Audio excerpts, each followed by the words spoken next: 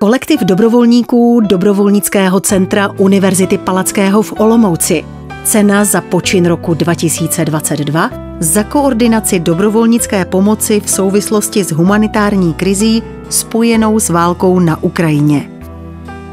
Dobrovolnické centrum Univerzity Palackého v Olomouci po zahájení války na Ukrajině přijalo nabídku více než 700 dobrovolníků z řad studentů i zaměstnanců univerzity. Vytvoření koordinovaného systému pomoci pomohlo nepochybně zvládnout prvotní nečekaný nápor uprchlíků z Ukrajiny. Dobrovolníci pomáhali s provozem, tlumočením, překlady nebo hlídáním dětí. Dobrovolnické centrum zprostředkovávalo právní a psychologickou pomoc. Centrum současně plnilo roli sběrného místa pro sbírku dětských hraček a pomůcek pro krajské asistenční centrum pomoci Ukrajině Kacpu a pro sbírku zaslanou na univerzitu v Černivci.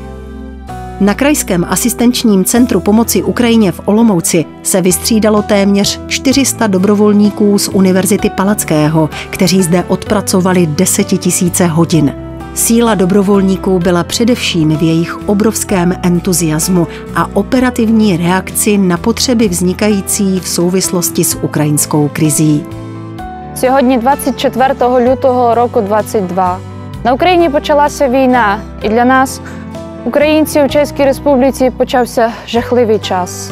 Na Kacpu je místo 40 dobrovolníků 400 a místo 4 hodin týdně pracujeme 80, ale stojí to za to. Spím jenom v sobotu, každou noc trávím na Kacpu, ale zvládáme to. 12 hodin, 7 dní v týdnu, nevím co dřív. Naši dobrovolníci odpracovali na Kacpu 10 tisíce hodin a jejich nasazení bylo obdivuhodné. Bez dobrovolníků by to na Kacpu rozhodně nešlo. Díky, díky, díky. Усі українці вдячні допомозі Чехії, яка триває надалі. Дякуємо.